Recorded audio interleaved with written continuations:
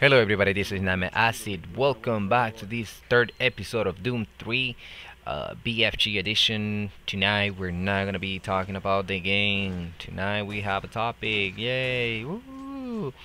And the topic is forever alone, being alone. Oh my god, I can't have a girlfriend or boyfriend.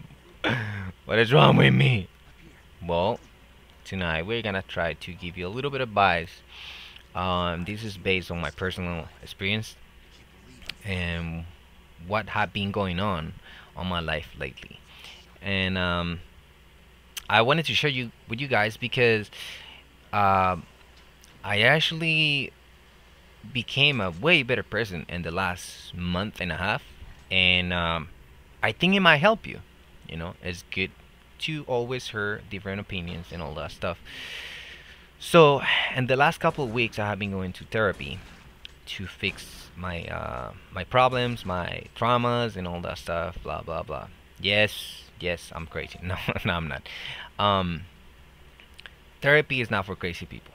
Therapy is for those who really want help. And if you're in that state of uh, depression, um, you want to kill yourself, and all that stuff, believe me, therapy is not gonna kill you.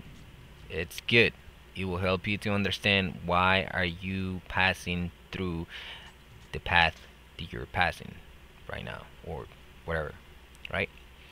So what i have learned in the therapy um, in the last couple of weeks is that most of us we always look on relationships on a girlfriend or boyfriend we always look for someone that is actually gonna fix your life you know? Someone that is gonna give you all the understanding and all the love you never had. Well that's the wrong thing to do believe me. You don't want to do that. What you want to do is to actually look for someone that have a completely different background than the one you have. Uh yeah most of you guys are gonna be like well uh i'm looking for a chick that is gonna have the same type of uh likes that i have like like the same type of music and you know like that kind of shit you know?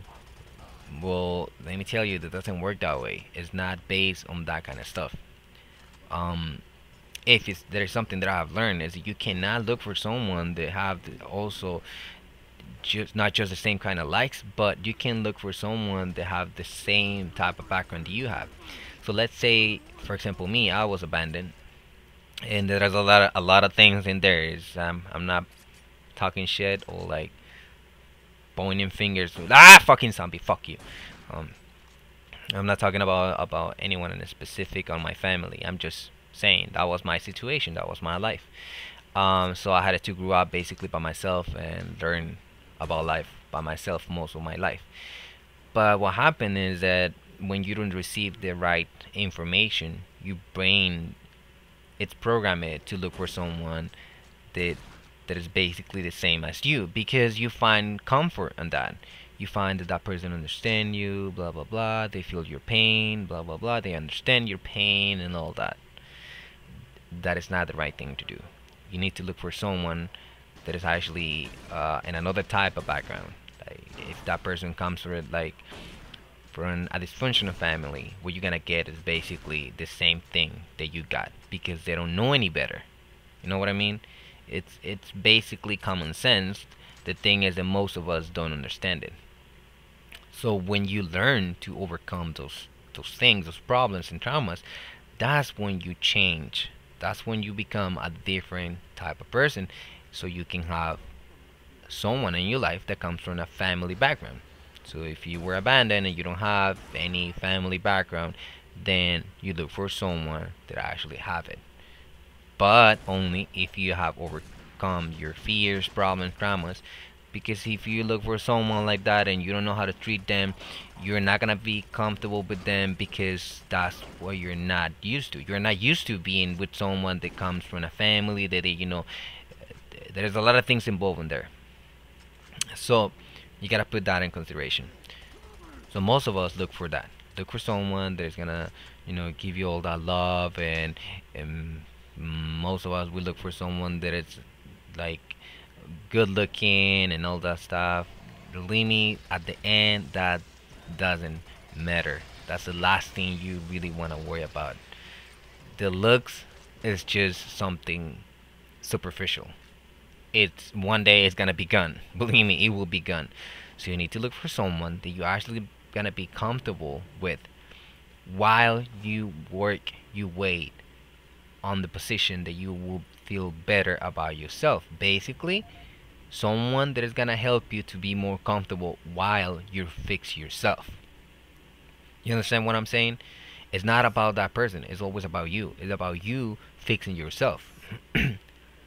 so, like, let me give you an example. A couple months ago, um, I was into a relationship, and it ended really bad. And I will ask myself, was it my fault, or was it her fault? And that was one of the questions that I asked my therapist. Wait, was it my fault? Like, you know, what what's what is wrong with me? Like, what the hell is wrong with me? And I end up realizing after the therapy that it was my fault because I was picking the wrong person. It's just that easy. You cannot look for someone that is actually gonna give you, in this case, the only thing they know, which is leaving you, because that's the only thing they know. They don't know any better, and it's not completely their fault. You know, it's what they have been programmed to do. They were abandoned. They were left over to live in a freaking society where everything it's stupid and like all that stuff. You know, our society is fucked up. So if they were just left over there, they don't know any better. That's when you have to learn how to change yourself and be a better person. That's when you have to demonstrate other people that you actually have a different thinking and that you can change all those things that you were before and now you're a different person and you can actually get someone that is good but you're not going to be wasting your time with someone that is not going to understand the type of person you are uh, again as example um, when i was in, in that relationship uh, at the end after after ending that relationship and after my therapy i understood that that person didn't have the same type of thinking that i had that person didn't have the same type of level that I have. And it's not just about, you know, money. It's not about uh, what do you have, like any possessions that you have. It's about your brain. It's about what kind of thinking you have. If you're a smart person or if you're not, if if you're average, whatever you are, you need to look for someone that's actually gonna be in the same level. Why? Because when you are with someone that doesn't understand you and doesn't understand the, the kind of thinking you have, it's because they don't have enough knowledge, if you want to call it, if you want to put it that way. If you want to put it that way, I will put it that way.